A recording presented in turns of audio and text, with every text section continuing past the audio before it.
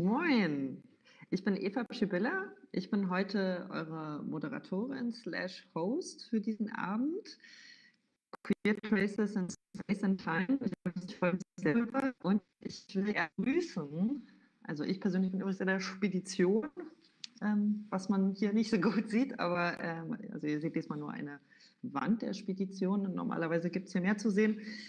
Ähm, ich möchte erstmal alle begrüßen, die mit mir hier sind, die ihr nicht seht, äh, und zwar alle TeilnehmerInnen des Workshops. Zwölf an der Zahl, fast alle sind heute hier. Dann möchte ich begrüßen natürlich alle VeranstalterInnen, die sind auch mit mir in der Spedition, die Technik und alle, die jetzt gerade per Livestream zuschauen. Schön, dass ihr dabei seid. Ich freue mich. Und ganz kurz nochmal in Englisch. Das ist eine wichtige Information von Anfang an. Und zwar ähm, werde ich jetzt die meiste Zeit Deutsch sprechen. So, in this event, I will mostly speak German. And but if you feel more comfortable with uh, an English translation, we have a wonderful um, translator, sorry, interpreter. Uh, her name is Rima Radhakrishnan, and she is here with us. So, in any case, if you need help, please let us know. And or text chat, for example, through Telegram, or, or even uh, on YouTube. So please let us know if you feel more comfortable with an English translation, then we will try to make that happen. So, um, aber für den Rest des Ach, Entschuldigung. Für die ähm, nächsten Minuten werde ich erstmal Deutsch sprechen. Und äh, zunächst sage ich erstmal was zu Queer Traces in Space and Time. Der Workshop oder eher gesagt die Auftaktveranstaltung für den Workshop, für den wir heute hier sind. Es ist eine dreitägige Veranstaltung, heute mit Gästen. Ein Gast ist äh, Jack Giesking aus den USA, und ein Gast ist heute auch live dabei, Philipp Gofler aus Amsterdam beziehungsweise München. Und genau, die werdet ihr später noch treffen. Dieser Workshop findet statt im Rahmen der City Data Explosion. In Bremen und Hamburg findet diese Veranstaltungsreihe statt seit 2013. Diese Veranstaltungsreihe setzt sich mit den Wechselwirkungen von Medien und Räumen auseinander. Und in diesem dreitägigen Workshop, der bereits auch letztes Jahr stattgefunden hat, zum ersten Mal, geht es speziell um queere Orte. Wie ja wahrscheinlich alle wissen, sind queere Orte ja nicht unbedingt von Dauer, sondern sie sind häufig temporär, sie sind fragil. Und genau da stellt sich halt die Frage, wie kann man diese Orte erinnern, und vor allem, wie kann man sie auch kartografieren?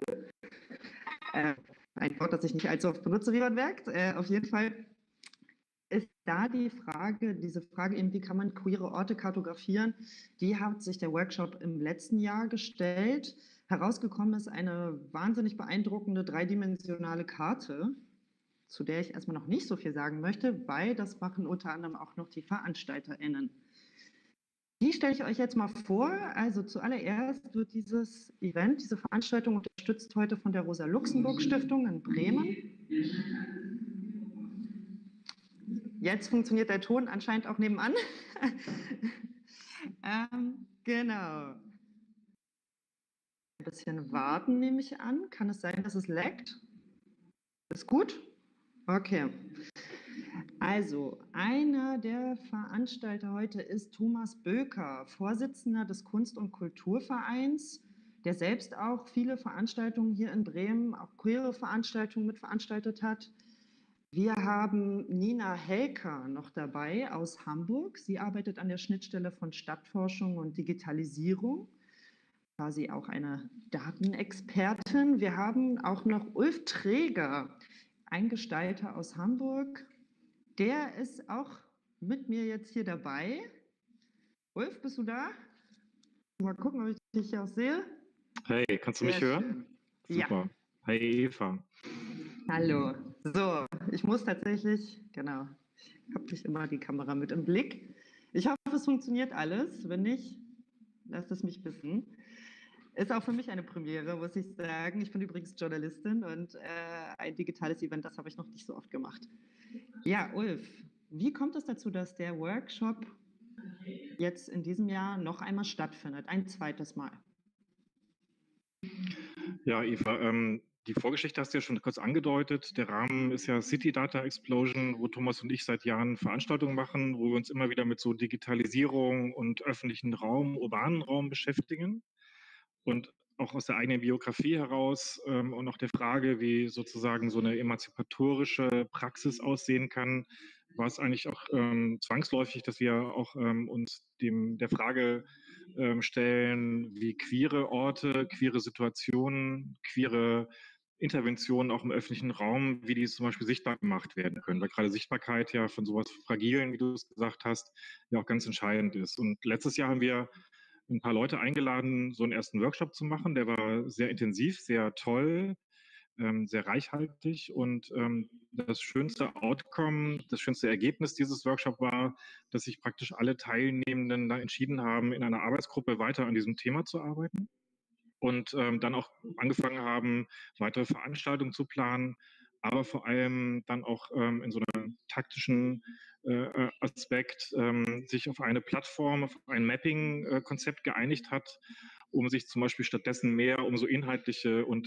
äh, Fragen der Narration, der Geschichten, die man erzählen will, die Situation, auf die man hinweisen will, zu konzentrieren.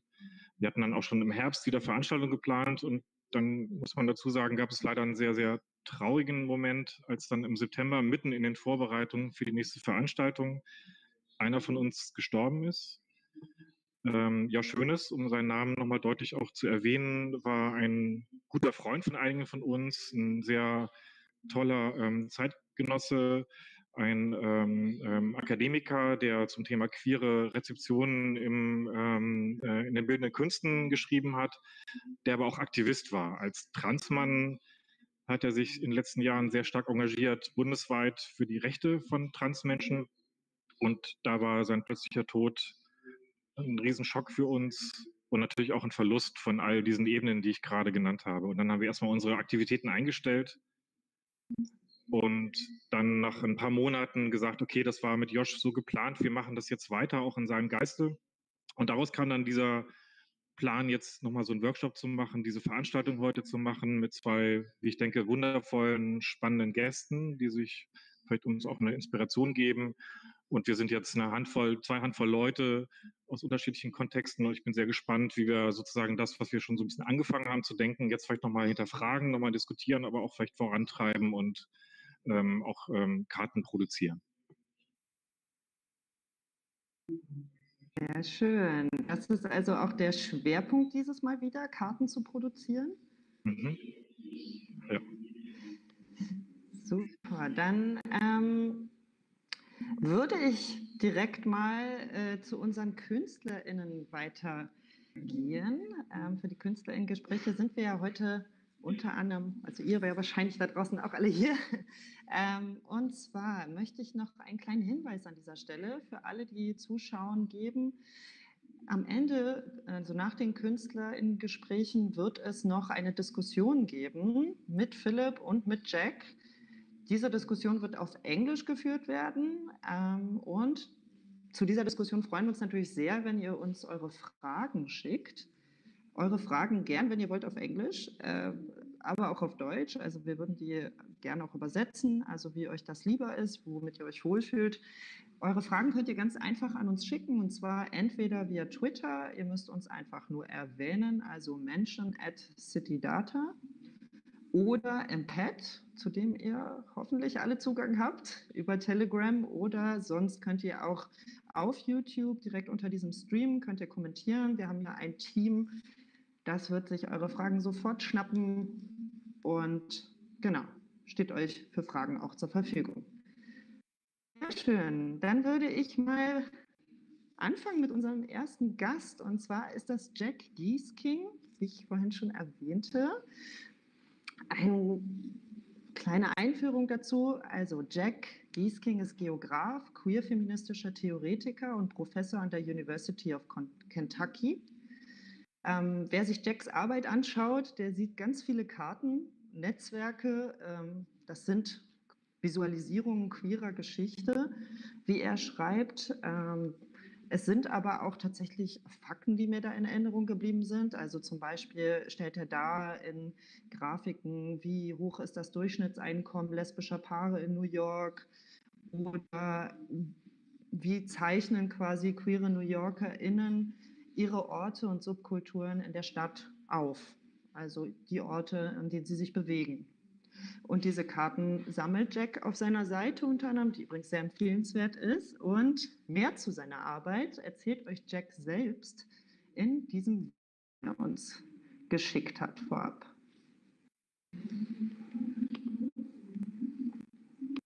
So, hello there. I am Jack Giesking. Um, uh, it's a pleasure to be here. I'm honored that you invited me. Uh, I am recording this from the unceded lands of the Duwamish people, what is now most often known as Seattle, Washington, in the United States. Um, there have been many protests here. I don't usually live here, I was here for the summer.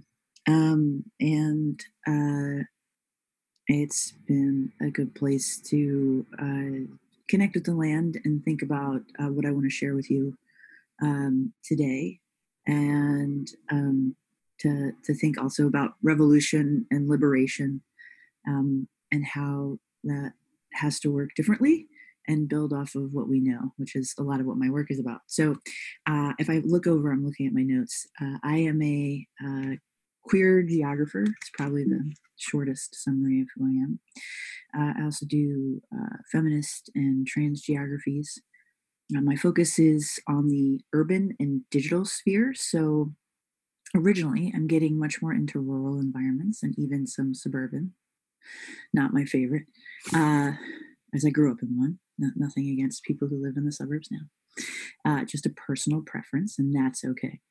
Uh, I pretty much go wherever queers go, um, in the broadest sense of the word. I want to study how they make space, how they find one another, how they sustain connection, how they reinvent worlds, um, uh, especially how they make worlds of their own when the world doesn't want them.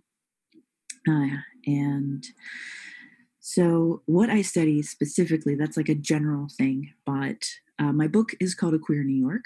That comes out, uh, evidently, it's in print. I found out yesterday amazing. I'm so excited. Um, and I'll get to touch it, I guess, next week. Uh, and the book is called A Queer New York Geographies of Lesbians, Dykes, and Queers. And it is the first lesbian and or queer history specifically of New York City. Um, there are literally less than 10 queer histories or sociological, anthropological, geographical queer histories of New York City. Um, and that's pretty profound because we think that a lot of queerness is about New York. Um, and people either really love New York or they hate New York and they hate how it's all about New York. And that both of those things are absolutely fair. Uh, I feel the same. And I lived in New York for over a decade. And uh, what my book was trying to do, and I hope it does, uh, is to show how there are really so many versions of a queer New York. Uh, and um, why did I write about this? Well, the, the fact that there wasn't a lesbian or queer history of New York was painful to me because I wanted to read it. So I wrote the book I wanted to read. And also wrote the book that I wanted to learn from. All the things that I learned while writing the book, I wanted them to be in there. Um, I wanted as many things as possible to um, as many kinds of stories and kinds of people uh, represented so that people would see themselves there if they wanted to and connect with people there. Um, the idea for the book came about in 2007. I was doing my oral exams for my PhD, and I was reading a lot of work on gender, sexuality, and space. Can you hear me? And I was reading everything I possibly could, hundreds and hundreds of articles. And one thing I noticed, sorry, that's the Seattle airport, is very close by if you're hearing that. The planes are landing. Um, so, one thing I noticed in this gender, sexuality, and space literature is that there was an assumption that lesbian, gay, bi, trans, queer, two spirit, intersex, asexual, any any LGBTQ plus spectrum that we really, and I, I should tell you, identify as a butch, uh, trans, dyke, queer person, masculine, way masculine in the center. And um, when I was reading all this literature, what stuck out to me is there was this assumption that gay people, gay people at the time, 2007, just getting into writing about queer and right, um, but this idea of LGBTQ people uh, really liking neighborhoods. We love a neighborhood. Bars, just can't get enough of them. And cities, as if we couldn't live anywhere else. And I say this with sarcasm because it was really weird to me because I knew lots of queer people, LGBTQ people, and all different persuasions who didn't like any of those things and didn't relate to any of those things. I also read a huge amount of literature about women's spaces, and there was very little literature on trans geographies at the time. I mean, mostly just about bathrooms. So when I read about women's spaces, it seemed that women were really afraid of public space in cities. Now, how do those things match up? They don't.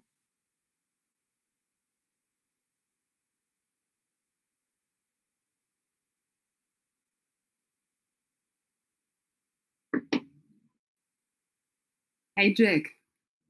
Um, it's we just heard. Oh, yeah. Okay. Once more. Hi, Jack. It's really so nice to meet you, not only in the video, but uh, kind of, yeah, like in another video, like in different realities, and perhaps it's still the same reality. I'm not really sure. Um, I wrote already to you in the chat right now. For me, it feels like as if it is something like like a like kind of a loop. I'm I'm really not sure. Um, yes, yes. So um, wonderful that you're here. Thanks. Um, in the video, you spoke about your motivation for focusing on queer geographies and um, following your interest to making visible that women are not afraid or not always afraid about public space in general, or in other words, that women and lesbian queers are using public spaces a lot and have since long been visible in multiple places. We now really like to speak with you about your map, about a queer geography of New York. That is a combined yeah, yeah. And uh, perhaps as the first or as the yeah, first question, the data that you used for the book and for the map comes from interviews, but not only from the interviews you conducted, but also, as I understood it, from a kind of a deep dive into the Lesbian Herstory archives. And maybe you can start to tell us what the archive research exactly was about and what the intention was. Sure. Um, so first of all, thank you for having me. I'm honored and excited that you would um, want to talk to me about this. Like I, I, care so much about queer liberation as well, and I'm hoping maps can just create alternate histories of what we think about. So I'm going to try and um, uh, I the, the Lesbian Herstory Archives um, is the largest lesbian archive in the world and located in Brooklyn, New York.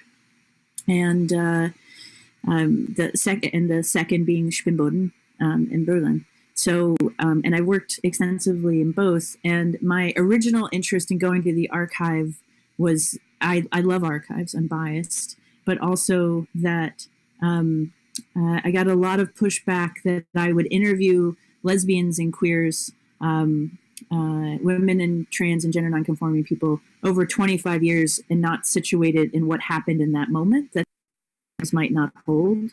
And so I uh, they have over 30 collections at the archives. They have they have sex toys sitting around. They have uh, like a button collection, a T-shirt collection. But there's only these two archives that have dates and times on them. One is the organizational records, and the other is the periodicals. Spinnboden has a huge, like massive, stunning periodical collection, but has very few organizational records. Um, and so I wasn't able to make that comparison, but uh, it was a way for me to make a, a, massive spreadsheet of 391 organizations and every address that was ever mentioned that they ever met at or had a, an activist intervention. No one's ever mapped ACT UP before, which is just mind blowing, um, or Lesbian Avengers or Queer Nation. Um, and I started to realize that that there's these very like repeat repetitive ideas of that we don't have any history or we didn't do that much or everything goes back especially with new york. It's all about stonewall um, or and then act up. And so i really wanted to complicate that history uh, and share what i found. I had no intention at first of you know I, I thought i'd make a map but as soon as you make a map it has so much power it gives people so much energy to see our really our different histories and then at the same time it's very finalized and fixed um, and maps have so much authority so it's something I was quite torn about. Um, said that you have no, you had no intention when you started doing the research, but um, when when I look at the result or part of the results, I am wondering if you in the beginning already were thinking about um, mapping or um, finding out more about an this everyday queer New York because what I really have um, still in my mind and what, what I was find really interesting is that you don't only map mm, the kind of typical things like not only mm, lesbian places but also as you mentioned in one of your interviews um, that there was for example the address from from a hairdresser a hairdresser yeah. somewhere in New York who had an ad in one of the periodicals. Yeah. And I was wondering if that also was part of the um, starting point of your research. Yeah, I was I was just really tired of reading about bars. I enjoy them, but I don't enjoy them that much and I don't think everyone enjoys them. I mean, there were, you know, I think 40, 50 bars on a map for gay men and, and just half the lower half of Manhattan and there were 3 for women in the early 2000s. And so just telling the history of bars is not telling every, it's not telling at least the lesbian, trans, queer, um, gender normative, gender non-normative perspective. And I was also, um, I felt like I read a lot about what I call protests and potlucks and um, that they're like these tropes about lesbian queer life. And I think they're awesome and at times funny and at times sad and important. And, but they also share our culture. And I wanted to know what our lives were like. What was it like like, what was it like to be to live under AIDS and try to make sense of your life? Like, what caused so many people to rise up and fight for their lives, right? That they were fighting for their lives, and then why did it go away? Um, and why did you know what happened to all this amazing activism that became these official nonprofits and and how did people feel about that and and and what did you know that was like that just like walking through the street like how did you get your hair cut? Where did you buy your groceries? Where did you feel safe buying clothes you know? Um, and trying to put together like a whole queer life rather than just yeah repeating the same stories. Yeah so when i picked these oh sorry you go. Yeah still, still the same topic. When you are um you have i think 1100 places yeah. that you map on this um, map um, and talking about the difference between hair or the percentage perhaps about bars versus hairdressers versus more private places. Is there to get a broader idea of what you what you really made visible with this map distinguishes your map from other maps because I think your your um, focus on queer geographies is a much broader or your concept of, of queer geographies is a much broader than it is in, in several other mapping projects. What is that sort of range between yeah. hairdressers. Well, there's like a lot. There's a lot of amazing maps. Like um, Jeff, um, I think his name's for Caro. I, I don't know how to say his last name. Is an amazing map of the whole history of nightlife in New York City, hundreds and hundreds of places from the 1800s, starting in the 1800s. And then the New York City LGBT historic sites is talking about what we can register with historic preservation. And I really want to think about the things that get forgotten. You know, where you know what what like what was it like to walk down the street because you know how do we really understand one another how do we make we made so much change we fought for so many things and w- what brought us together and how did we recognize one another and what fell apart over time in one of my interviews a participant who came out in 1984 was talking with women who came out in the 90s and the 2000s and uh, the woman who came out in 84 said when i was evicted and the women who came out in the 90s and 2000s said, Why were you evicted? She said, Because I was gay. And they were like, Oh my God, I'm so embarrassed. I'm so sorry. And I was like, We're writing this history now. Like, don't feel bad. um, like no one knows what this woman's life was like. You know what? Why did they move certain? Like there's so many factors that are so like rich and complicated, and I I wanted I wanted lesbian and queer people to kind of like upset the generational rift to like think across much more think across racial divides and class divides um, and to to you know at times we fought together how can we use uh, you know a queer approach um, to, to to come together to fight you know like uh, and not just anti-heterosexual that's not it at all not at all but like really those non-normative people what are our lives like? And how do we get by? Like how do we not just survive but thrive? And like what does it take to thrive in the world? Um, yeah so i want to tell those stories. Yeah. That kind of leads to the to one of the next questions because um, I was wondering, um, talking, listening to you talking about the woman who who, who was evicted, um, as well as um, other parts of um, your writings where you, where you um, mentioned that you did interviews where women mentioned that they walked with a Walkman around along a street and they heard a certain song, and uh, you're not only working on this map which precisely um, shows the places of women, lesbians, and queers, but you also intend to um, produce or to create layers where stories become visible. Um, yeah. So for me, it's kind of um, connecting the dots to to uh, develop stories, or not to develop, but to to make stories visible and histories visible.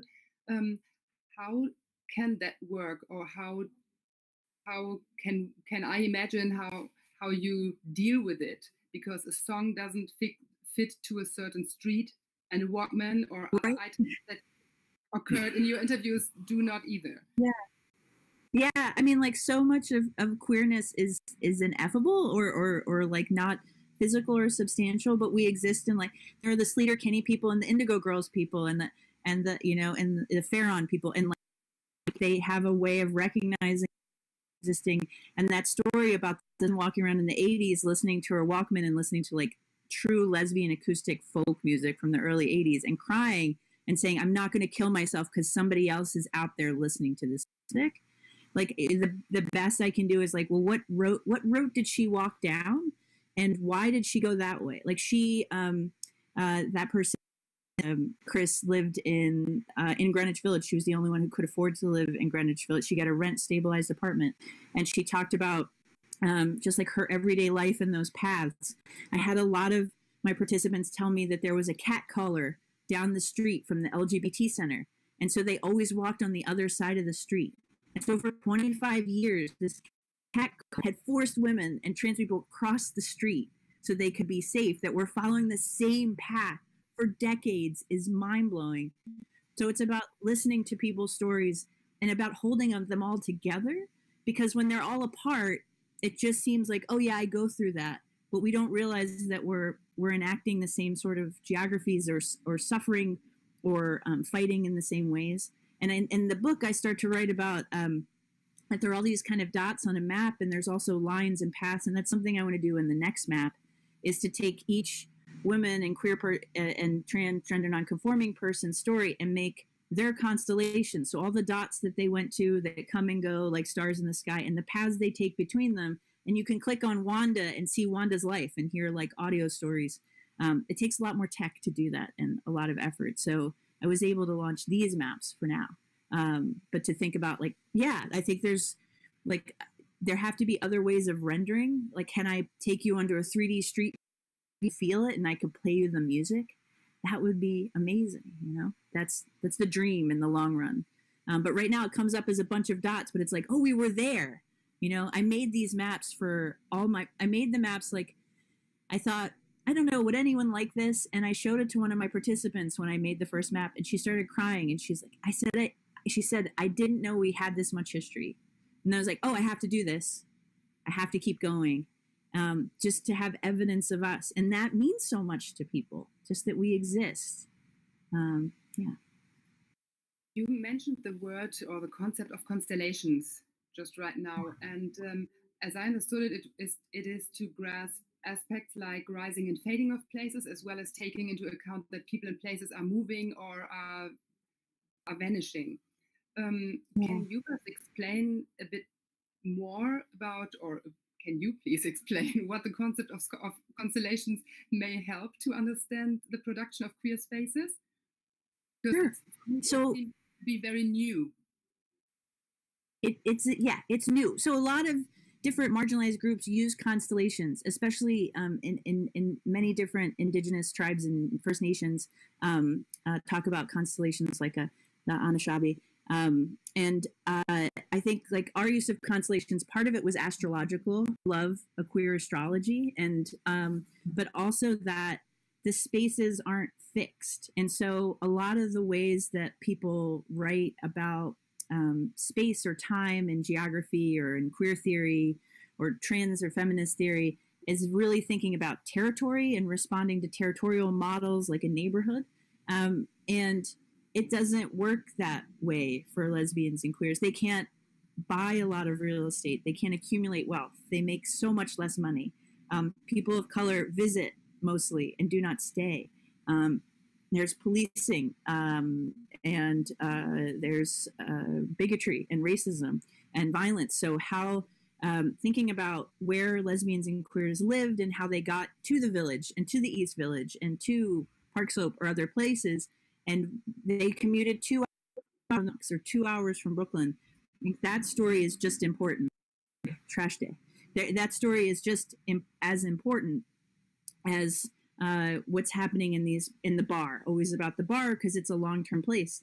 Um, but trying to map uh, these places that come and go is also when I listen to the stories of my participants, um, the places that weren't there matter just as much as what was there because they don't have a lot, so they carry it with them wherever they go, and it forms who they are. Um, and they walk by the places where the bar used to be, like where the Duchess Bar used to be, is now a Starbucks. And it was the 80s bar in New York City and they all mentioned it and they're like i still walk by and i think of the duchess you know woman woman after trans after queer person saying this and so i think um, thinking about lesbian queer spaces have always been called networks and thinking about how that relates to physical places and not just we're social beings but how we move from spaces that aren't as as planted down or fixed is really important so constellations is a way to think about it differently and and to see and to realize, wow, we have this amazing connectivity and we also have this attachment to physical space. And how do we want to move forward towards towards liberation and, and to work for justice together with the ways that we're already working that are really good? Yeah. Perhaps be- before we hand over to Eva again, um, I have one last question. Uh, uh, one last question, and uh, that's about the the aspect of certainty or uncertainty, because when you when you were sitting in the archives and um, or afterwards sorting out out what can be on the shown on the map and what not um, for us as the group who is uh, also working on a queer map we are really often facing the situation that either a flyer doesn't has to uh, men- doesn't mention the city or doesn't mention um, a year so as if every yeah as if there's no time and yes. uh, how did you deal with these uncertainties or in mm, not fixed informations? Um, I cried a lot and I was very sad. But I remember a flyer that I was really excited about, and it said, Come to the rally on Friday. And I was like, About what? What Friday? Where is it? What? Sisters, brothers, themsters. What's our history? And kind of having a meltdown and finding out from a lot of activist friends that that's an activist archive that it that space and time are impermanent but it was but it was also like in reading these things that didn't have space and time and then listening to my interviews that i was able to stitch together what happened where in lots of places that was vague to me in an interview and i wouldn't have pursued it but then i remember a council member had done that thing and it was such a bigot and had said that and oh that relates you know so it was putting together these people's stories that I interviewed with the archives. Um, but that took you know years of thinking and going back and forth between them. Um, but so many stories are lost off the map because nobody put down where they are. And so then we're like, why are we making all these maps when we can't? Maps aren't who we are, right? So I'm, t- I'm, t- yeah. But maps mean something to people. Uh, yeah. I think one other thing. Oh, what did you say? Oh, just one other thing is that I came up with constellations because a lot of my participants thought they were failures and they really were hard on themselves that they hadn't done enough. And they had done such beautiful things and that they were alive was amazing. And I wanted them to feel better about themselves. Because I it was it was so sad to listen to them say such hard things about everything and yeah. So I wanted them to be like, "Oh yeah, we we are alive and we're kicking butt." So yeah, I want them to, you know, have energy, do something new, um, and feel connected and that they need each other because they do. Wenn ihr Fragen habt,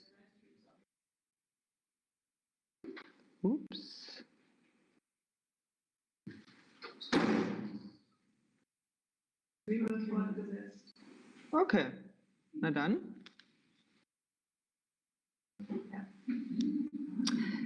Gut. Kann ich weiter? Okay, wir hatten gerade eine kleine Unterbrechung, wie ihr wahrscheinlich gemerkt habt. Nur noch mal ein kleiner Hinweis. Also für alle, die jetzt quasi vielleicht ein bisschen später eingeschaltet haben, sage ich mal. Ähm, wir werden später noch diskutieren mit Jack und Philipp, unseren beiden Gästen.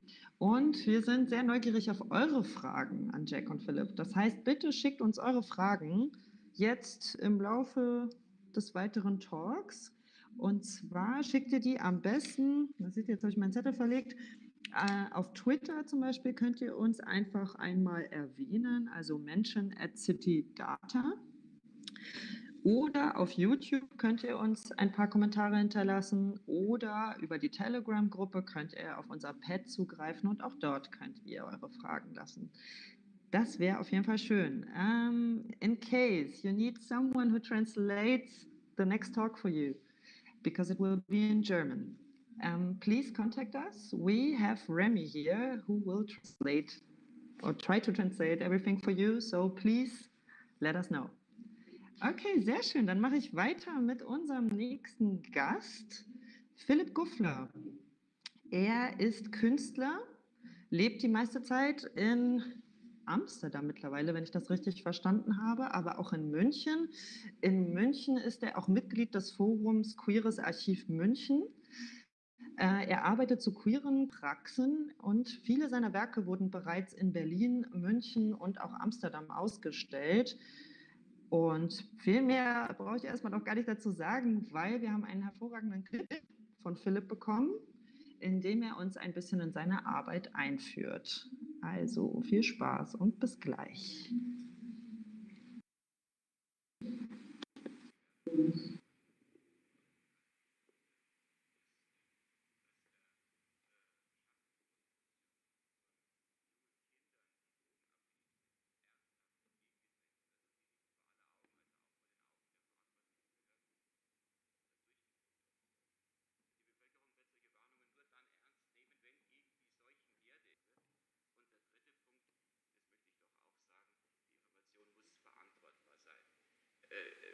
Der von mir schon zitierte Robert Gallo sagte, Promiskuität ist der Mutter der Seuche.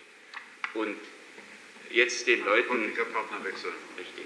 Und jetzt den Leuten zu sagen, macht nur so weiter, euer hamsterhaftes An alle Mitarbeiter des Kreisverwaltungsreferats. Äh, ein, klein, äh, ein kleines Kondom zu benutzen, das ist mit Sicherheit. Peter Gauweiler. Ich hätte gerne mit den Damen und Herren diskutiert, die so vehement gegen mich protestiert haben, ohne mich überhaupt anzuhören. Denn das ist das Besondere an der AIDS-Problem. AIDS ist insofern keine Frage der Politik, sondern der Biologie. Und jetzt den Leuten richtig und jetzt den Leuten zu sagen, macht nur so weiter, euer hamsterhaftes Sexualleben. Alles weiter so, nur zwischendrin äh, ein, klein, äh, ein kleines Kondom zu benutzen, das ist mit Sicherheit der falsche Weg. Ich hätte gerne auch mit den Damen und Herren diskutiert, die so vehement gegen mich protestiert haben, ohne mich überhaupt anzuhören. Denn das ist das Besondere an der Rechtsproblematik.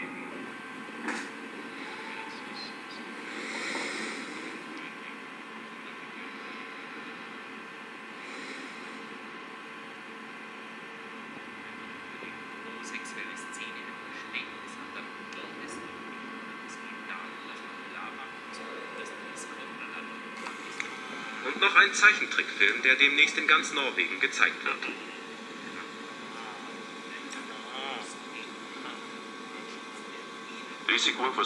Im sexuellen Kontakt liegt das größte Risiko dieser Krankheit. Sei daher kritisch bei der Auswahl deiner Partner und hab keinen Verkehr mit irgendjemand. Die Ansteckungsgefahr wird geringer, wenn du ein Kondom benutzt. Sei kritisch und wählerisch und habe nicht zu viele Sexualpartner. Man bør ikke ha mange seksualpartnere, og man bør være kritisk med valg av partner.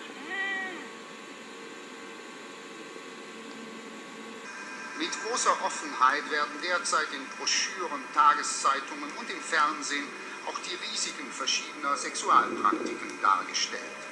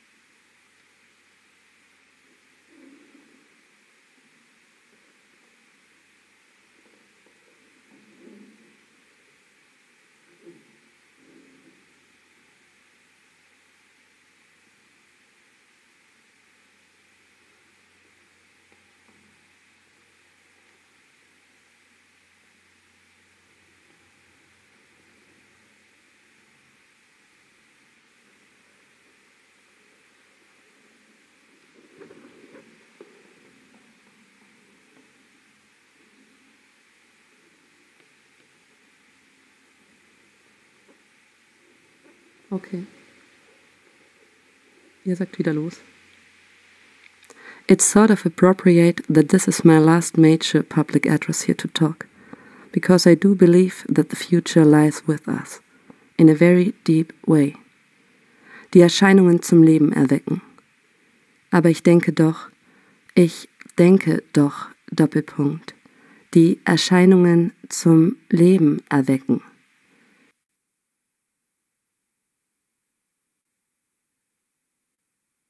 So, hallo.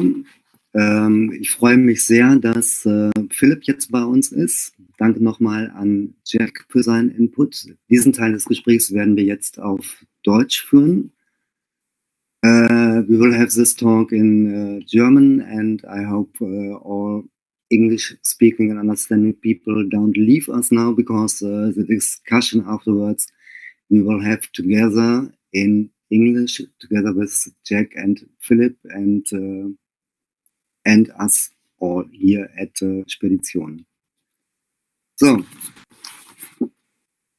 Hallo. Ähm,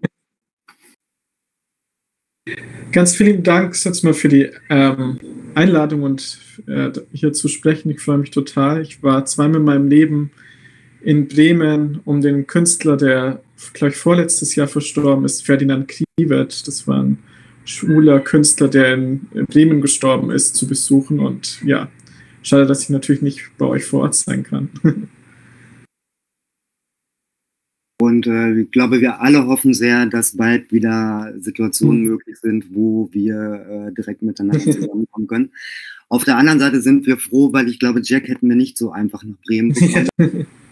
so bedingt, äh, gibt es durch äh, Corona-bedingte äh, Veranstaltungsformate halt dann auch wiederum Chancen, miteinander ins Gespräch zu kommen. Okay, ich würde gerne äh, mit der ersten Frage anfangen. Deine künstlerische Arbeit äh, bewegt sich im Spannungsfeld von Geschichte, queerer Geschichte, einzelnen Geschichten, queeren Geschichten. Ähm, und du nutzt Referenzen äh, konkrete Archivarbeit von Footage ähm, und äh, setzt sie in Beziehung zueinander. Und äh, eine Frage, mit der wir uns auch in den nächsten Tagen im äh, Workshop beschäftigen werden, ist, ähm, was, was wollen wir eigentlich über uns erzählen, über unsere Kämpfe, über unsere Träume, äh, über unsere Momente, die wir manchmal nur miteinander haben und äh, wie können wir diese Geschichten erzählen und in Bezug setzen. Und ähm, dann nochmal gelingt zu deiner künstlerischen Arbeit, wie beeinflussen diese Fragen deine künstlerische Praxis?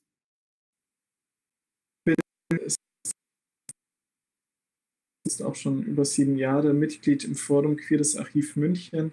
Das ist ein kleines, selbstorganisiertes Archiv, das 1999 gegründet worden ist, in München eben. Und dort habe ich seit 2008 an der Kunstakademie studiert und äh, freie Kunst und habe ähm, Arbeiten immer mehr gemacht, die sich auch mit queerer Geschichte auseinandergesetzt haben. Also vor allem ähm, Act Up oder Group Material oder Channel Idea, Derek Charman, ähm, waren Künstlerinnen und Künstler, Kollektive, mit denen ich mich stark auseinandergesetzt habe, ähm, die alle eine sehr amerikanische oder britische Perspektive gehabt haben, weswegen ich eigentlich sehr genau wusste, äh, wie die Situation in den Anfängen der AIDS-Krise in den United States war, also auch durch die kulturelle oder künstlerische Produktion der Künstler und des künstlerischen Aktivismus, der ähm, in den 80er Jahren stattgefunden hat, aber wusste sehr wenig über die Situation in Deutschland. Und irgendwann mal war ich in einer Ausstellung, ähm, wo Objekte aus dem Forum ähm, ausgestellt wurden und bin mir dann eigentlich erst dadurch auch bewusst geworden, wie wenig ich gewusst habe oder über die spezifische Situation in München außerhalb dieses ähm, Rainer Werner Fassbinder, Freddie Mercury Motiv äh, oder der Geschichte aus den späten 70er Jahren, aber die fand ich immer, dass die sehr, oder frühen 80er Jahren, dass die sehr distanziert der Stadt München, wie sie heute für mich war, wo es eigentlich immer mehr ähm, alternative Orte verschwunden sind und eigentlich, ja, ähm, es eine gewisse Frustration gegeben hat von Fehlen von diesen Freiflächen, auch, in, auch für Künstlerinnen, aber auch für mich einfach als, als Mensch. Und deswegen habe ich dann, ähm, bin ich in das selbstorganisierte Archiv gekommen und wollte es jetzt mal eben nur über die AIDS-Krise oder die Anfänge der AIDS-Krise in Deutschland recherchieren, aber habe dort ähm, so viele andere Sachen gefunden, dass ich eigentlich seitdem ähm, nie wieder aufgehört habe. Und es gibt so eine äh, Fernsehdokumentation vom Bayerischen Rundfunk aus den frühen 2000er Jahren über die Anfänge der AIDS-Krise. Aber ich hatte auch so eine Frustration, ähm, wie sonst so Fernsehdokumentationen ähm, erzählt werden. Das, so ist dann eben den Ausschnitt, den ihr gerade gesehen habt, das war eben aus einer Arbeit Projektion auf die Krise Gauweilereien in München. Das ist die erste Arbeit, die ich dort im Forum gemacht habe ein Video und dazugehöriges Künstlerbuch, das eben genau diese Geschichte versucht anders zu erzählen. Also eben auch viel mehr persönlicher. Also später, als in dem kompletten Video, wo ihr jetzt nur einen Ausschnitt gesehen habt, spreche ich dann noch mit Guido Wehl, der die Münchner AIDS-Hilfe gegründet hat und mit einem behandelten Arzt. Also es sind auch sehr persönliche Geschichten, die aber, die ich eben versucht habe, nicht auf einer reißerischen oder einer skandalisierenden Weise zu erzählen, aber trotzdem die Verwerfungen von den Politikern ähm, genauso zu benennen. Und gerade wo ich dann fertig geworden bin mit der Arbeit, äh, 2014, ist dann kurz danach Gauweiler auch wieder als CSU-Vize gewählt worden. Und in allen seinen Nachrufen wurde seine frühere AIDS-Politik komplett verschwiegen. Der, er verklagt auch regelmäßig Journalisten, die versuchen, darüber zu schreiben sobald die, der ist ja auch nebenberuflich immer noch als Anwalt tätig, sobald die ein falsches Wort darüber schreiben, ähm, wird er, verklagt er sie und deswegen ähm, gibt es so wenige, ja, so wenig Wissen natürlich außerhalb einer klassischen LGBTIQ-älteren Szene ähm, über die Situation in den 80ern und ich bin natürlich eine andere Generation und nur die Archivmaterialien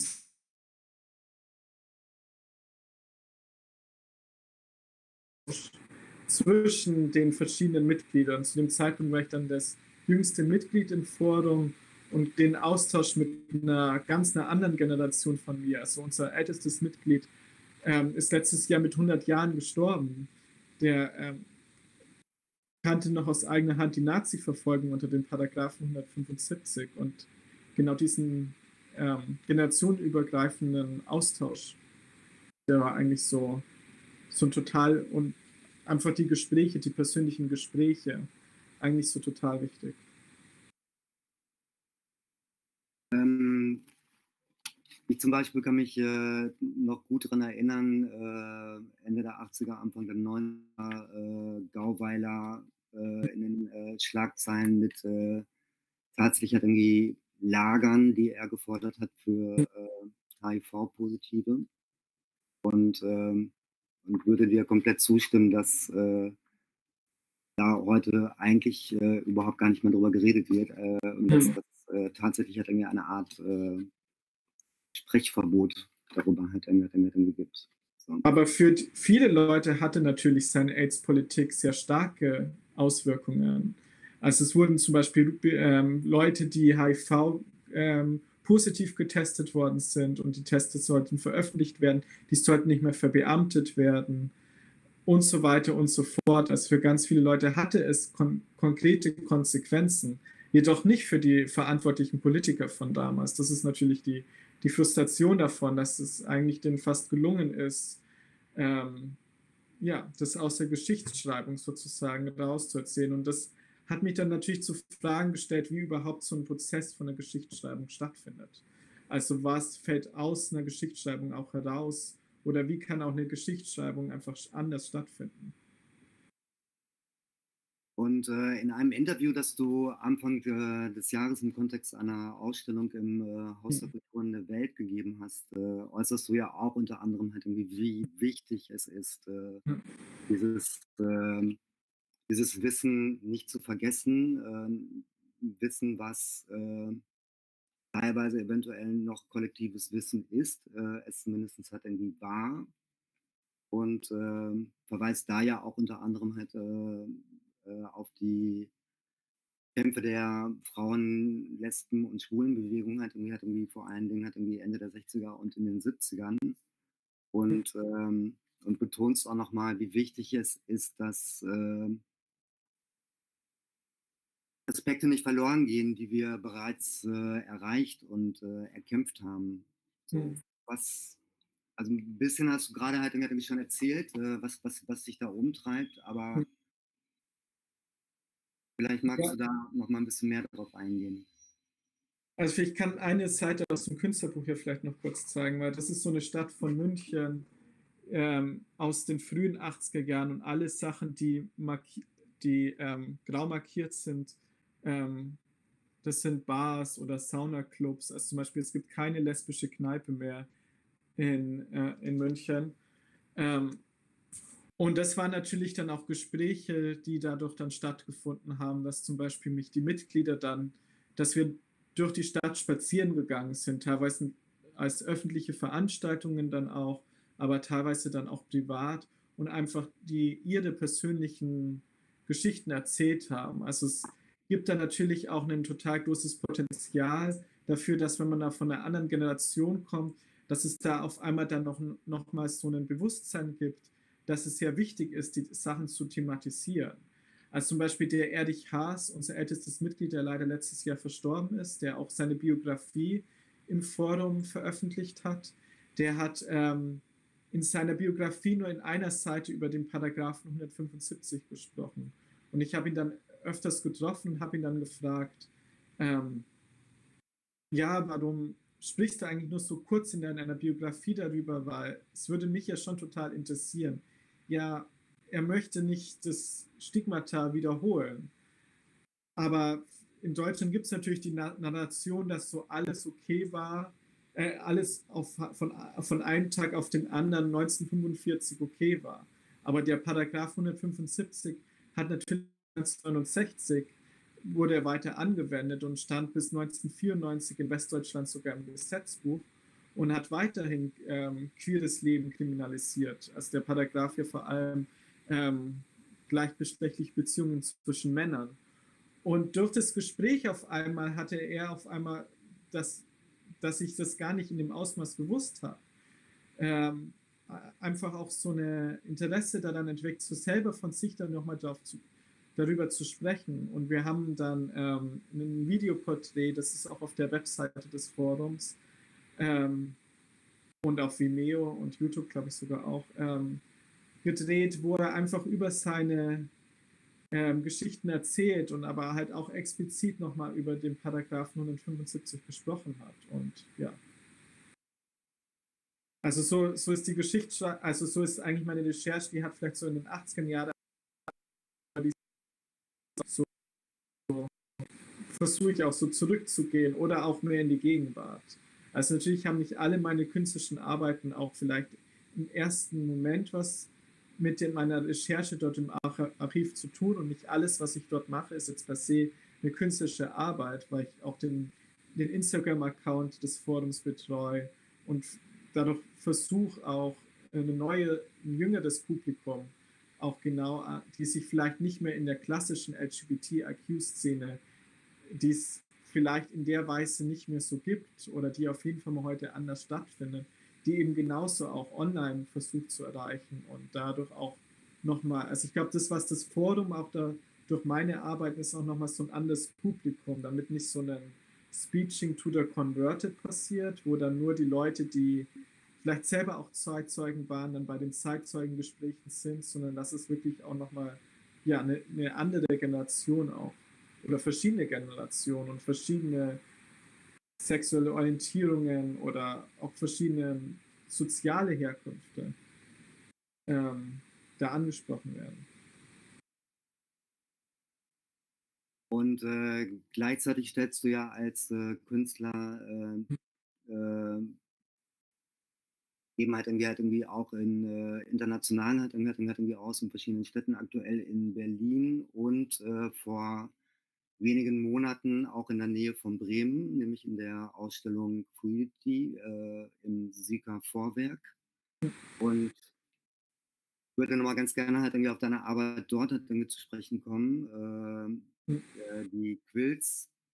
Und auch hier nutzt du halt äh, Text und Bilder und Zitate ähm, aus einem queeren kollektiven Gedächtnis, äh, einem queeren kulturellen Kanon, popkulturellen Kanon teilweise.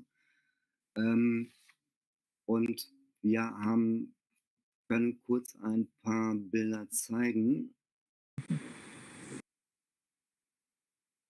Ich sage mir nur, welches Bild du zeigst, damit ich vielleicht weiß. Oder sehe ich das dann auch automatisch? Ich bin jetzt gerade. So, ah ja, okay, ich sehe es auch, super. Genau, jetzt, ähm, jetzt sehen wir die Quilts.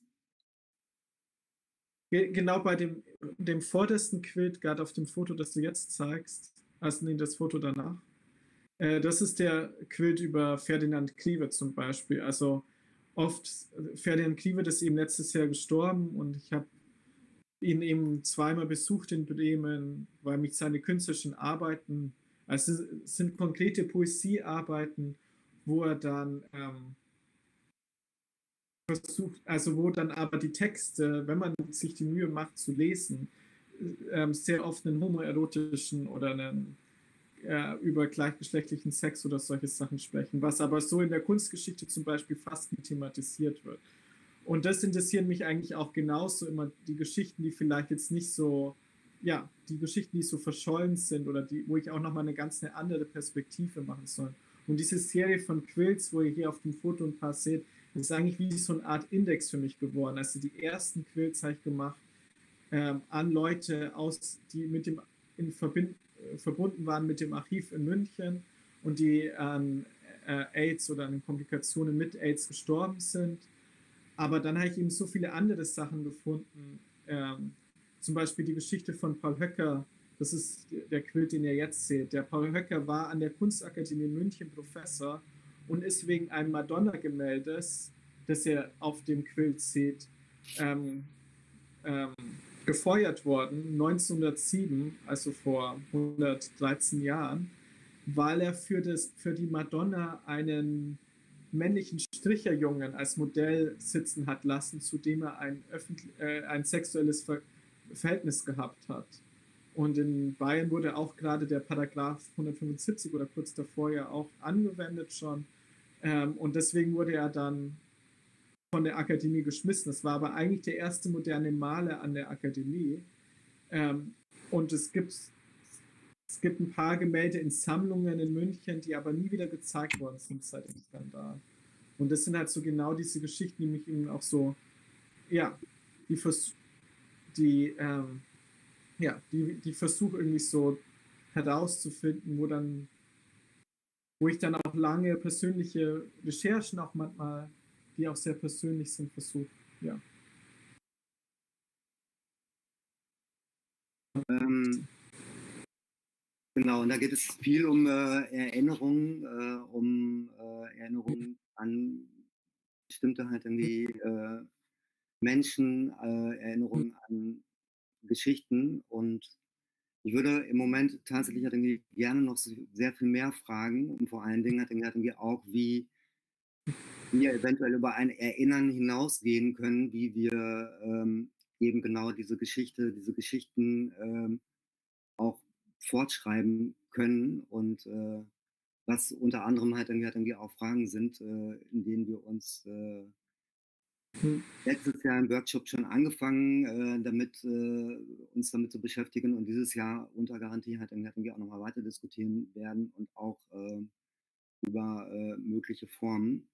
Und ich würde sagen, wir diskutieren gerne halt irgendwie gleich weiter, auch darüber, wie verschiedene Erzählformate äh, die Karten, mit denen Jack hat irgendwie, hat irgendwie arbeitet, äh, deine künstlerische Arbeit, wie es gibt so ein wunderbares äh, Zitat äh, in dem Ausstellungskatalog I Wanna Give You Devotion, was ich jetzt natürlich dummerweise nicht zur Hand habe, was eben genau in die Zukunft weist, äh, wo es halt irgendwie um ähm, das Begehren geht. Genau. Und vielleicht kommen wir da gleich nochmal im gemeinsamen Gespräch damit drauf zurück. Würde mich zumindest sehr freuen. Und ich gebe zurück an Eva.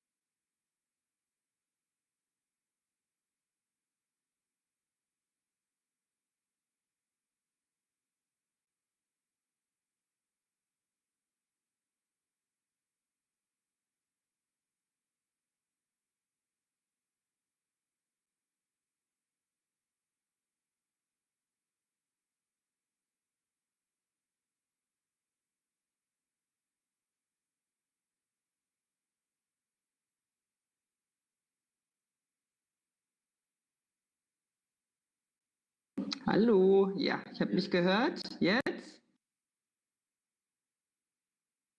Jetzt hört man mich? Okay. Ah, gut.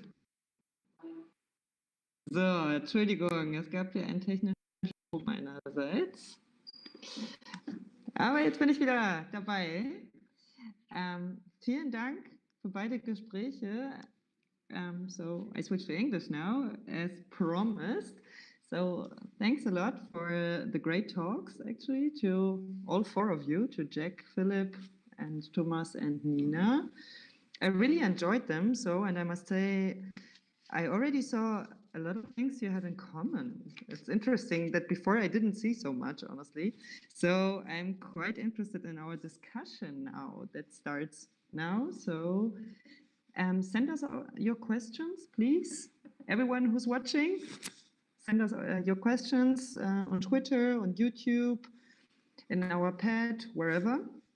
please let us know. And also um, the participants of our workshop, they will have a possibility to ask their questions in front of a camera. So we have kind of a, um, what is the English word again for that? It's not hot seat. Ah, yeah, it's hot seat actually in German. It's called heißer Stuhl. So um, actually, it's not kind of a chair where you get grilled. It's more like you have the possibility to ask a question and be there with your picture. So, but first I start our little talk. Is everyone with us right now? So, Philipp, you are there. I see you. But what about Jack? Could Jack join us? Okay. Jack will be there in any minute, I guess. So, um, I don't know. I could just start with one question. Jack is in. I got a message right here. Please wait for me. Okay, ah, a question. Okay, I already have two questions. That's good. So, okay, I just start with you, Philipp. Sorry that you're alone, but I already start in English if that's okay. Ah, there is Jack. Hello. Hello, Jack. Finally, also hello from me. Hello. Very happy to have you guys. And um, yeah, I start right away. Actually, we, we thought together of a question that we might ask. And what came up to our mind was immediately like, what about Corona right now? I mean, you both study the history, let's say, or uh, history of queer traces, but what about the present? So, because now of the pandemic, bars, even if you don't like to talk about them, they are closed. So, and also clubs and a lot of places that are also important, for example, for queer, let's say, subculture, also in Bremen, they are not available. So, how does that change in general queer traces? In your opinion. I also, I'll, I'll start. How about I start and we'll, I'll be brief and then, um, okay. I, wa- I watch, uh, I go a lot of uh, queer fundraisers online and queer dancing online, and my Instagram has changed dramatically. I'm in the discussion. Where do I? How do I do that? Everything is fine. You're in the discussion. I I hear you, and everyone else does. Oh, goody. Okay, thanks. Yes. Okay. I think there were there's other people in my ears who are helping me translate. They, I want to thank. Uh, ah. Yes, I guess. So um, they. Uh, um, I think people have to be online if they can be online and so now it's like different ways of making space and connection and data. I'm pretty obsessed with the Lex app, L E X, um, which is uh, like a personal based lesbian, queer, intersex, gender non-conforming, and space, and it's all uh, text personals. There's no images, and um, you know people are looking for friends or you know or or sex or someone just to talk about Buffy the Vampire Slayer with, you know, whatever it suits their boat that night. And so they're finding other ways to make connection. Um, but it's super hard to track. I know the LGBT Center Archives in New York City has a has a Queerentine archive that you could submit your notes and your books and your journals. Um, but yeah, it's it's it's absolutely it's not this physical space. It's going to be it's like a whole other way of imagining where we are. What do you think? Like, uh,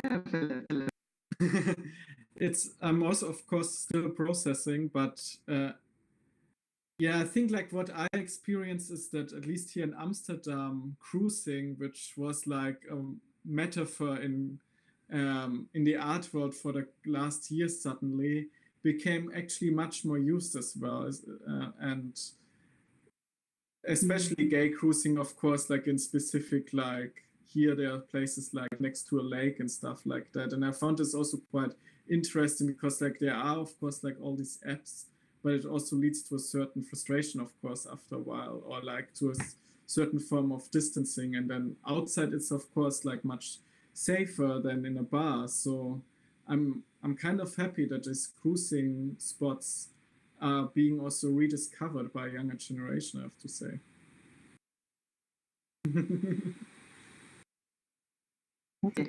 I, I see we also have questions now from our audience. I would start right with one.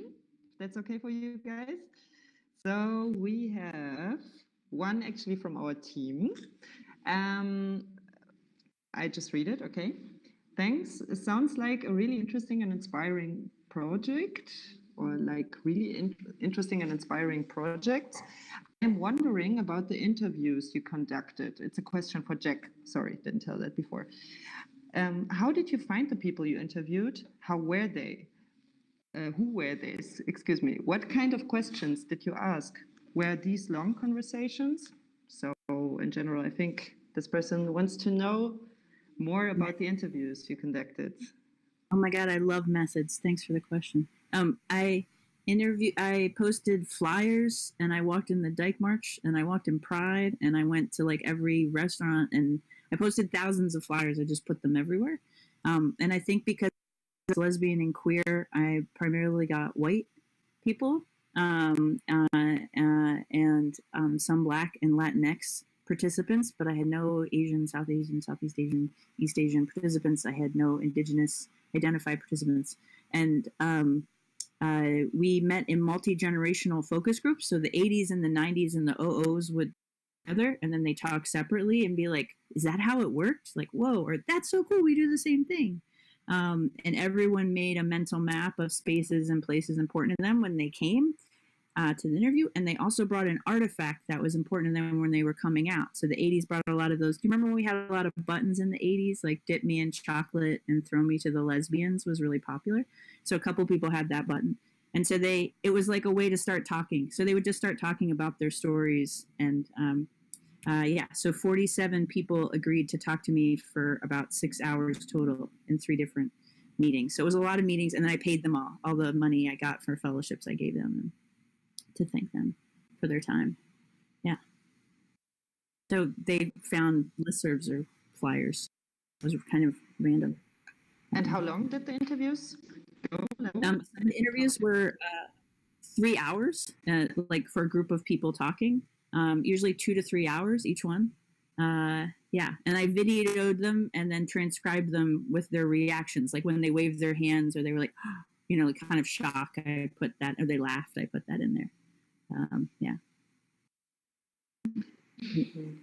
It's Very 14 pages of transcripts. 14. Yeah. So, yeah, it's a it's a lot of data like for it's yeah it's a couple books just to read it so all the transcripts are going to be donated to the Lesbian Herstory Archives eventually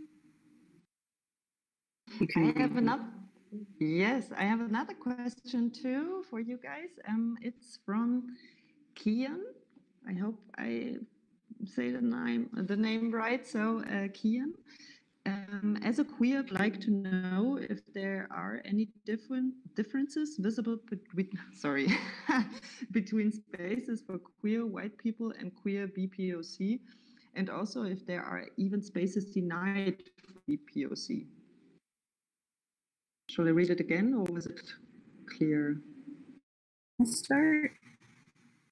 I think in Munich, it's of course like also um, a very special or like it's a very it's not a very international city to say at least. And i think like one one part was of course like that a lot of um, soldiers were there from america in in the south of germany after the second world war which um, changed a, a little bit the change. But i think like what happened now the last five years during the refugee crisis, of course, like changed a lot, like the yeah the visibility of people of color also like in the materials of the archive and also like there self-organized groups of refugees or people of color groups in in munich now as well. And we are depending with our collection because like our budget is so small so much on donations. Like the people really like willing to give us something So of course, like we try to contact them and inform about our archives, but it's also like of these groups, like uh, like they also have to be ready to talk to us and give us materials. But this luckily changed a lot because I think like there were for sure, especially specifically in the German context, till the 80s and 90s, still a lot like a really little visibility of not only people of color, but also, for example, of transsexual uh, materials, also for materials of East Germany, uh, for example. So there are like a lot of blind spots, of course, in the archive. And I think that's the most interesting part to think all the time, like what is missing and how how can we include them and how can we invite them. And I think this didn't happen so much for have in our small group of volunteers organizing it, it's happening actually a lot. And I think this was totally different, for example, of um, when there was a um, lot of um, groups from uh, guest workers from uh, Turkey and Italy came in the in the 60s and 70s to Germany. They were completely excluded, more or less, from from the society and also had really little visibility in the LGBTIQ scene. And I think that there's really like awareness rising of about like, yeah, yeah, sharing this visibility. So, yeah, I hope this was not too long to answer. no, was perfect actually. And uh, yeah, for you, Jake, actually, I mean, you live in the USA, so there it's probably different concerning visibility yeah, Black Lives Matters is uh, everywhere. But one thing I think for the German context is there's a new book out by Tiffany Florvil, Mobilizing Black Germany, about the history of Afro-German movement. Um, and the word Afro-German was coined by Audre Lorde when she came over for her cancer treatments. Um, and so I think there's this beautiful way we're kind of bound together um, in that too. Uh, but I, I think that, um, you know, when I lived in Germany and definitely living in New York, um, and in this research, um, spaces are segregated. There were always in, in were in many places there were always limits to how many people of color were allowed into bars, especially Black people. The idea that the bar would be flipped and wouldn't be white. Marlon Riggs talks about that in 1989 um, in Tongues Untied or 88. Um, and I think uh, this has been ongoing for a long time. And there were protests. Uh, you know, each decade there would be another protest another, on another bar um, about racist practices, and they always show up in my stories. And I think that there are a lot of places where uh, LGBTQ people of all races hung out, um, but uh, music matters, and identity matters, and representation matters, and um, how people are seen. There was a bar called Caddyshack that downstairs it was black and brown, and upstairs was all white, um, and played two different kinds of music and didn't really talk to one another. That at, at times, sometimes they did, sometimes they didn't. Um, and I think the um, like in BIPOC stories, there are other ways and more reliance on um, restaurants. Um, there's a lot more reliance on apartments and apartment parties, um, even more so uh, than white people. Public spaces and dealing with policing in them always. Um, so there's a lot more to navigate. They usually have to live farther from the city center, so they pay more to get in. They spend more time doing that. They face so much stresses and inequalities and injustices, so they do a lot more work um, to be part of that. Uh, okay, we have another question. Um, it's from Durban, from the Feminist Film Archive, uh, Bildwechsel in Hamburg. Uh, Durban asks, what happened to the videos? Did they also go to the lesbian archive? Oh no, they I destroyed them. Sorry, I destroyed them. They were supposed to be destroyed, I promised. Yeah. Yeah. So they don't exist. Um, but I can see them in my memory. I watched them way too many times. But yeah, they, they're destroyed. That's so um, unfortunate. Then, yeah. No, I know. I didn't think that anyone would want to watch those. But um, there. Uh, but all the maps will go there. All the mental maps will go there eventually, too. So. Okay, and another question. Um, we have a question for Philipp. Philipp, you mentioned digital formats. How could they work for artistic way, for an artistic way of working with an art with archive findings? Mm. I, I Sorry. Yeah. Okay. yeah, I think like um, it's a good question, and we still, of course, like also trying to find new formats, and I think these formats have to be found more now than ever before, of course, because we are so much, um, yeah, um, limited on this right now. But I think it's also like, in, in, of course, like introducing like archival materials on our Instagram page, for example. But um, yeah, I think like there can be uh, for sure much more happen. I I have to say I'm also partly skeptical about it. Like I I just made a new video about Kühlberg, and I tried to retell her story and how her transgender identity was being totally neglected um, by the media. And the video work is finished now, and I'm not allowed to, or like I'm not able to show it because all exhibitions are of course postponed. And but I'm, I'm also refusing to put it on Vimeo because this is such a sensitive story that I really feel like there is this collective sharing also really necessary. So I think like in a certain way, I think not everything can happen, or like at least from my perspective as an artist and my experiences, this collective sharing and this collective watching a film together and having a discussion afterwards is so important part of my practice as an understanding for me as an artist that I cannot like to put it now just on Vimeo. It's it's not a possibility. I have to wait till I finally can show the work, and yeah, it's also um, difficult process, of course, for all of us. But yeah, I think um, yeah, for me, it's important to have like these social interactions.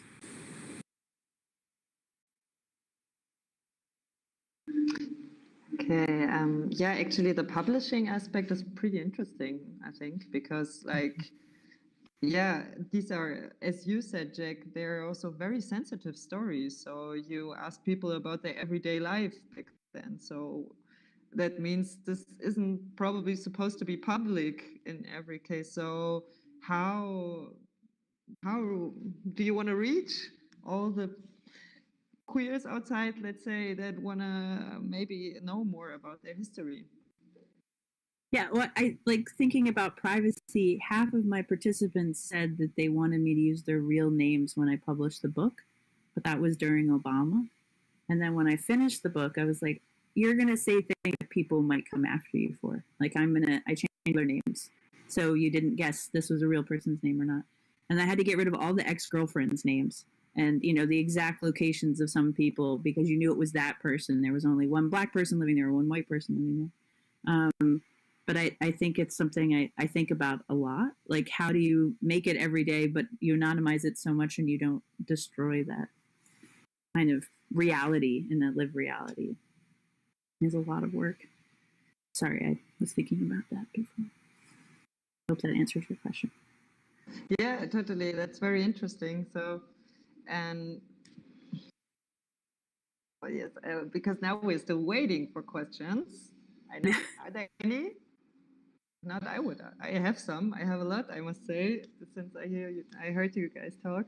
So, um, for example, what I wonder about this aspect, like you asking very private questions about the private life, about the everyday life. So, actually, history is also about choosing what's important, right? To remember. Mm-hmm. So, how do you decide that? Do you have some kind of catalog where you say, like, this is important, this is not important? So, how do you do that? A question to both of you, actually, as historians.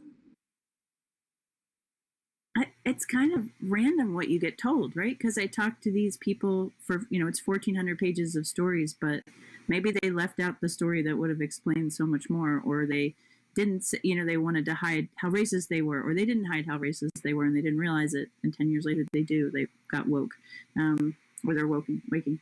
Um, I like I it's really hard to ask them. And my participants, some of them were really annoyed. They're like, what does that mean? What is my everyday life? They're like, do you know where I buy my deodorant? And I was like, does it sure like tell me about where you go and what your life is like. So it's how they interpreted the question. And so by having the maps that they drew, the mental maps, they would say, "Oh, I, I didn't include that place, but that's I would count the Park Slope Food Co-op. I would do that, or and I would count this pizza place that everyone got drunk at the bar and then hung out in. Um, uh, but no one had drew that on the map. Like 25 years, people went to the same pizza place after going to the bars in the West Village, and no one put it on them. So there's kinds of places that become queer that we don't uh, think about in the same way. So trying to like listen for those stories. What do you think? Yeah, I think it's also like I like like the archive in Munich, like the forum. We have like a question list or something, like some guidelines how to make uh, and history history um, talks with um, people from bars or like also really different or activists or like people from really different backgrounds. And i think it's a, of course like this, this is of course the great thing about a self-organized archive. It's not only like celebrities or like as in Jack's work as well where it's really like or very important political person. It's also like about a daily life of, of the activists and these question lists of course ex- we develop them together to have mm-hmm. like some guidelines what to ask but most of the times from my experience it's also just like be with this person and just like give them the space and to tell their stories and not only to follow these guidelines from my perspective when i made like some interviews now as part of my work there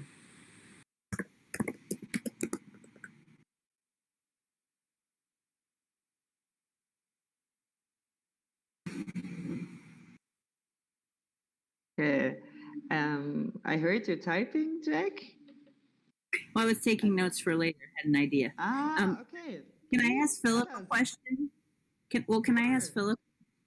How did, did you feel like, like in the conversations about AIDS, that that it is multi generational? Do you feel that, um, and it and I'm assuming there's a lot more about men, cisgender men. Um, that there is something that's more cross generational to them and their conversations about AIDS, or that they kind of remained in their kind of age groups. Um, like how how did that work? Like how does cross generational knowledge work? Like what did you see? I think there was, of course, like a skepticism towards my approach. I, I felt definitely in the beginning, not only like doing this from a different generation, but also like from an artistic background. And there were, were in the beginning very much confusion why I'm interested even in it.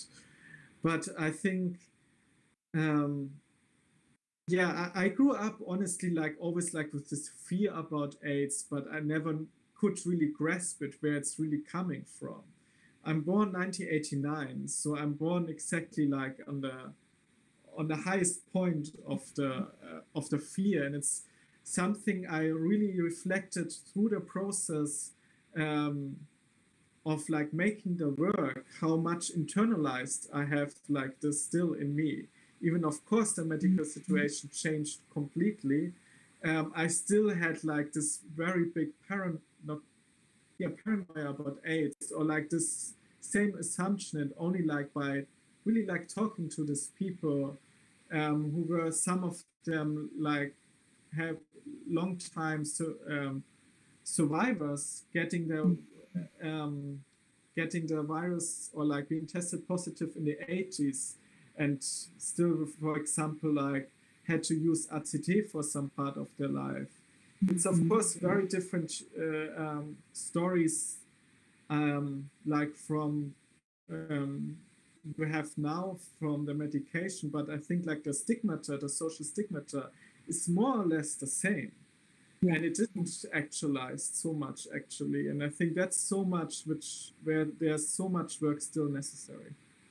Yeah. How, how Oh yeah. No, no. I just I I have a friend Marika Cifor who's a um a, a, a, a info studies scholar, and she went and researched all like all the exhibitions about AIDS um, and ACT UP and how it was portrayed and how it created a history of AIDS. Because she was so born around the same moment was like what is why do I feel attacked like how much of this is my history and how do I make sense of it? And like how do people narrate the past? Um, so I think about that a lot too. Like in like definitely i think that like people who came out in the 80s you can see there are different moments over time where people like if you came out in the 80s like that doesn't go away. You keep hating yourself.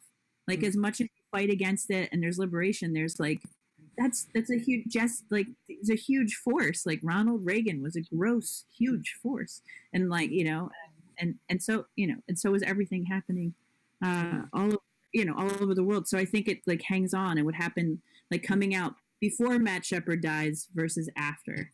Um, you know coming out like there's so many major uh, people who who die or you know like um, you know marriage when marriage comes through or uh, transgender surgery is covered in, in germany like it's a totally different mentality. Um, when i lived in berlin i was i remember talking to people about how upset um, trans people were in in in not just trans people, but the queer community kind of fell apart when trans people started getting hormones because we don't have nationalized health care. So different cities, people could get free hormones at different times. And I asked, what was that like here? And they're like, well, there's a state. And then we all got hormones at the same time, right? Like, and we waited years and we saw you fall apart. Like somebody told me, um, like we saw you fall apart and we wanted to do it differently. Uh, and I think we're also learning from one another and watching and like, but that that stigma and the hurt um, carries too, and we always have to fight back against that and not let people tell us we're less than. Yeah, talking about uh, let's say hard sides of the research too. So um, a question from one uh, participant, I think, um, for Jack. While you were doing your research, were there any situations where you attacked as a trans dyke queer person, for example, by gay men? Oh, no, I didn't seem to hang out with very. I have some gay. I have, I have lots. Of, I have a lot of gay male friends, but no, they they were quite. Um, no, and I when I was doing the research, I hang out as trans to myself, and I wasn't like capable of talking about it very much. I didn't know what to say. I, you know, I hadn't changed my name yet. Um, nobody, people who identified as trans in my research told me that one on one and then didn't talk about it in a group. Like there was a lot of transphobia. You know, people were, and people were saying things like, wow, what we did in the 80s to trans women when we excluded them from bars was wrong. There wasn't, there weren't, there wasn't room at the table for those voices. And I did I absolutely didn't know how to talk about it yet. I do think that there were people who had a lot of assumptions about how space worked, um, more so more than the transphobia about whiteness. Um, that queer spaces are this way, and not thinking about how that works for white people um, and the privilege and power they have to like claim spaces um, and afford spaces. Um, and I think that was like more of a prevalent um, theme, like assumption that needed to be confronted. And we have another question too from um, Laura, is her name. She's from the University of Vechta. And she's writing Hello, my name is Laura from the University of Vechta, and I would be interested in how the representation of queer space spaces has changed with generation aging. I would assume that there might be that, that there might has been a shift from private to more publicity spaces. And there's a question to you both. Uh, what will be your next projects? As Corona will last for at least some months, how will you proceed working? Oh my gosh. Oh my gosh. So this is the coolest thing because when I went to Germany, I didn't know you went to the same bar your whole life. I thought that was the coolest thing because we age out of bars, but you guys like have Stammtisch and I was like, this is amazing. Like I, um, I was like, young American, like, this is magical. What a community. And I think there's like a different way of creating space over time.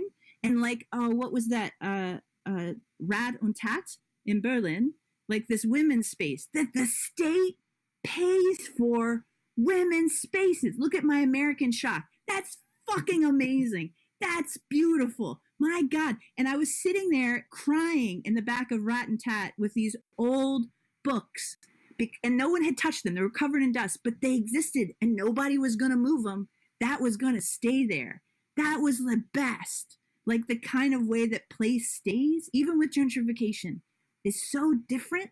And it changed all of my ideas about like this idea of the American dream. Like living in Germany made it possible to write this book and how American it was, like how absurd we were. Like I and and um, we do some things well, but we do things really bad too. And it, but like whoa, like that's like the aging in bars. Like lesbians and queers age out of bars at 35. Gay men sometimes they'll keep going.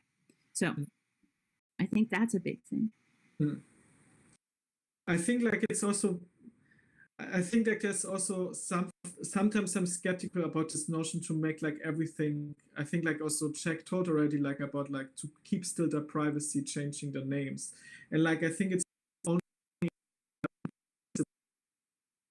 like there is like also like a, a, a certain like um, pressure of like everything has to come out and like has to be historicized. I think like the p- possibility of things disappearing is also something very beautiful to me, and mm. and like the myths around it, and like that we don't know, and like the yeah how to describe this. I'm also like I don't, and I think that's also what I'm trying to like with my quilts. I don't know if you saw a bit on the photos, like the, the people are not only portrait and it's like an iconic photo of them.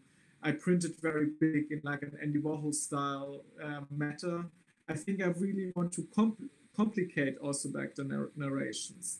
It's it cannot be only like iconographic kind of like um, Helden, Heldengeschichten or um, hero stories or something. I think it's I think we also have to take care to um, yeah to have to to put like these people if they're not alive anymore and we're talking about them to not only put them on like a petals or pet, pet uh, sorry my i'm losing my english but to to show them as a humans with also like mistakes and like and different yeah complexities or something. And i think that's what i at least like try to do like with these works on fabrics where sometimes like we don't see a photo uh, a photo of a very important photo, but it's on the second fabric layer, and you don't see it first. You have to lift the fabric or something, mm. or like the fabric is transparent, and you have to move around to really see it. I think like that's kind of like ways I want to visualize also like this need for more complex and more yeah different stories how to how to tell people's life and how to talk with each other and it's so cool because when they touch it then there's the oils on their fingers that they're leaving and they're like making this residue like they're part of it that's so beautiful the curators it, of course, or the museums when I tell the people it's allowed to fair. touch yeah, yeah, almost like kicked out of my own uh, of the exhibition where I was, uh, but uh, uh, the people who guarded the show didn't know that I'm the artist, and he was like, "No, you have to leave. No, you're the artist. Everyone can say." It. But like when I have influence on it, I'm always like other people, if you have clean hands, you can touch them. Mm. I think it's also like this texture relationship. It's also so much about like finding the the right fabric, which is much more portraying the person sometimes than like an image of them or something. Yeah. Wow. That's beautiful. So uh, I just uh, read because I'm all the time also in the chat. I read there are other questions too. So, um, but no, but uh, there's still a message from Durban, uh, from Hamburg, especially for you, Jack. Uh, it says, Jack, if you ever can come to Hamburg, visit Bildwechsel, the feminist film archive we have had our 14th last year. So cool. The film archive is inviting you. I'm I'd be there if I when I can leave the when you would want an American to come to your beautiful country again. I bells on. um, when we're allowed to leave, when we learn how to quarantine properly, and we uh, cut down on COVID, then then I'll be there. Yes, I would be honored. Um, and I'm I'm so sad that I didn't know when I did the research that I that like I treated it as a research format instead of like. And I've met so many people who do video that would have loved to see those, and I didn't imagine that at the time. So. Yeah. So, and I have one final question for you because, uh, as you know, this is an event for a, a, workshop that is now starting actually. So, tomorrow uh, the participants will meet for the first time and they will try to, yeah, map queer history. So, as experienced historians, that is your, how do you say, your experts for that. So, um, can you give maybe some advice to our participants? how should they start? Which questions can they ask? Like, what is interesting?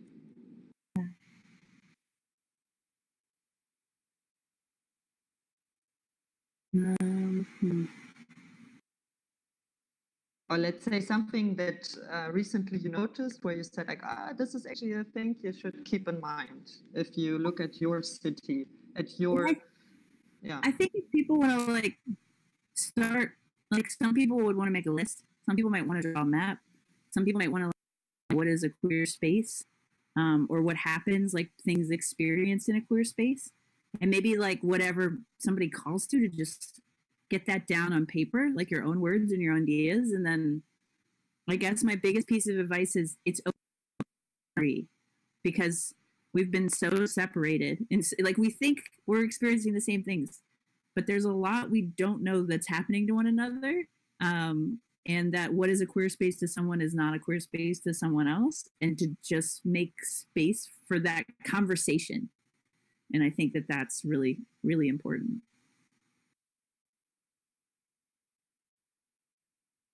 What about you, Philipp? What do you say? Yeah, I think like one thing is also really like to to take away the pressure of like of a result or something. I in the beginning I was like, or me as like not an historian, as an artist who never had like, um, yeah, I never learned how to have like an oral history interview. It was like really like to, for me the most important thing was really like to lose your expectations or something. And to of course like you contact or the person contacted you with a certain interest and shared interests anyway. But then um, yeah that sometimes like when i'm beginning a new project and i go into something your own expectations can also limit you very much and i think that's something you always have to be very much aware about and really like put yourself down for a moment and also like perhaps just like have an interest for this first moment and you don't know how it looks in the end I think that's also completely fine to keep the openness, keep yourself open as much as possible to find then the right format will, will find itself in the end. And perhaps it's just for yourself, the interview. totally. And for the person, of course, as well. And you have to find together out what to do.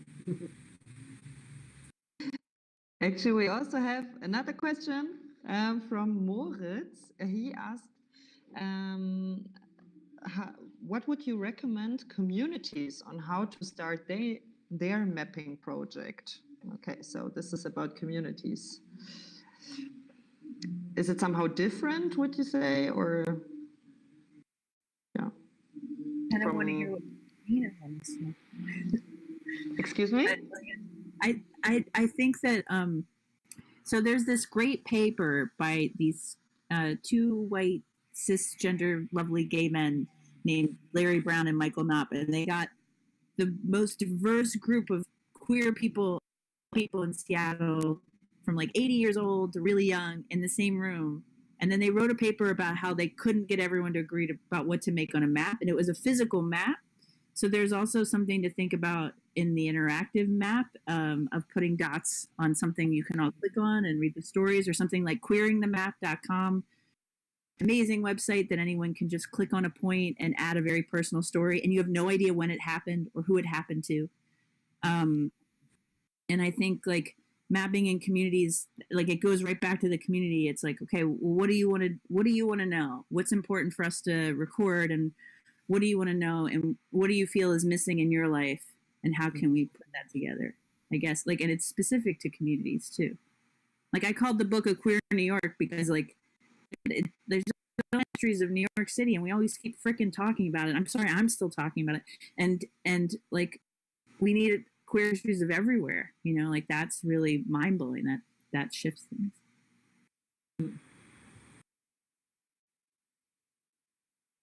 Okay. So, Philipp, if you don't want to add something to that, Um, yeah. yeah, I don't have. I think it's for me also very much the walks. I would just like to have like because like also the, yeah, I think then you also really understand like how you perceive like the the stories differently and like what happened somewhere there for one person can also be totally different for someone else. So I would just like perhaps like not only like sit somewhere. I think also like the way of walking or yeah i think also for me at least like it was always something which changed yeah and we haven't talked like, about the architecture changed a lot Mm. Yeah. Oh, architecture. I hadn't even thought about the art. My gosh, obviously. And also disability, right? Like, what does it mean to be rolling down the street and have this experience? Or, you know, uh, it, there's like how, um, or there's a, so many different kinds of disability or differently able bodies like shaping space and also like the physical environment, what it affords, like the architecture, right? And the design and the aesthetic um, really come back together. Okay. Um, yeah, since we've already already talked a few hours, uh, I unfortunately must must. But I'm I thought but also the only thing it's a weird situation with Corona and this kind of digital event, but it's lovely. And nice. So the talks, I enjoyed them a lot, and so it was very, very new and interesting for me too. So, and I guess for others too. And yeah, thank you. Thank Captain you. Raymond. thank you so much for Thank, thank you, Philipp. Yeah. thank you jack yeah it was really nice to Philipp, your work is so beautiful. Thank you. I love talking to artists. You're so much more fun than, than academics. Thank you. thank you so much and yeah Yeah, thank Tell me again, like, what's the title of your book? Because uh, a queer New York, York geography of lesbian, and then I've missed the rest and of queer. the Yeah. Yes, okay. Yeah. There, oh, if, there's a 30% off code if you want it. It's called, it's all caps, queer NY at the NYU. If you go to the NYU website, you get 30% off. And it'll be online free soon. If you buy it, don't buy it. Read it online for free. I love a free book. You know, and someone will put it on the internet and then steal it. Please steal it. I would rather everyone, if you want to read that, yeah, mm-hmm. just you can yeah. It's easy to search then. You can find all the sex parts and the U-hauling and the, yeah, it's much. And Jack whether you're in Munich or in Amsterdam, please let me know. I would love, of, or like mm-hmm. anyone from Bremen, of course, as well. Like we organize, the firm is organizing regularly archive tours and city tours to the city of Munich and to our collection. And yeah, we would be always happy to give you one. That would be amazing. I went to the Homo Monument I was sitting on it for the longest time. I feel so silly. I would love to have an actual tour and know where I'm going in Amsterdam. Thank you. Thank you so much. Thank you. Yeah, I also have to thank you again in German also to all the others. Also danke nochmal an alle, die jetzt zugeschaut haben. Danke für eure Fragen. Danke für alle, also danke an alle Workshop-TeilnehmerInnen, die auch jetzt hier waren und, äh, gesehen. Ähm, ähm, vielen Dank an alle Veranstaltungen und an unser Technik zu sagen. Wir versuchen die Kamera zu drehen. Ich hoffe, die drehen sich auch mal. Oh Gott, ich muss ja sogar meinen Laptop drehen, weil die sitzen hier nämlich bei mir. So Leute, dreht euch mal um. Ich glaube, wir müssen näher ran. Ran. Okay. In the blue light. Again. Da haben wir Flu, ähm, Camilla und Regina. Unser Technikteam wahnsinnig engagiert die ganze Zeit. Das hat so gut geklappt, wie ich finde. Ja. Und äh, danke auch für die Versuche. Damit äh, beenden wir das für heute. Erfolg, äh, ähm, gerne ich, ich war ähm, vielleicht ähm,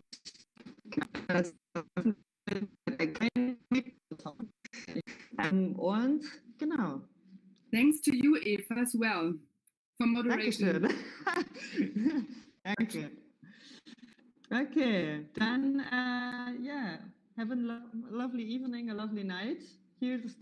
Sun is still shining. I hope we're have a beer, beer.